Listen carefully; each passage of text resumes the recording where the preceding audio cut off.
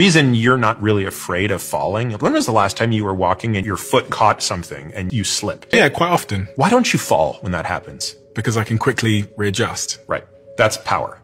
So you have the power in your foot to readjust when you lose your step. You step off a curb, not realizing it, it doesn't matter. You readjust. Oh, Those are a very, very specific muscle fiber that is responsible for that. It's called the type 2B muscle fiber. That is the first fiber that atrophies when you age. In fact, Really? you're already at your peak. It's all downhill from where you are now. Thank you so much. Yes. I'm already 20 years past you, and my power is a fraction of what it was 20 years ago. Now, I fight like hell based on the exercises I do to try to keep it as high as possible. The reason that these people who are in their 70s are falling all the time, it's not just a balance thing. They're undergoing the same insult you and I undergo on a daily basis, but the difference is their probability of being able to catch it, either through the explosiveness of their foot or their lower leg, coupled with maybe not being able to grab onto something as quickly and adjust, it's a power deficit problem. So what do I have to train now at 32 to ensure that I'm able to do that when I'm 70? Jumping is a really important way to generate power. So if you're just doing a vertical jump,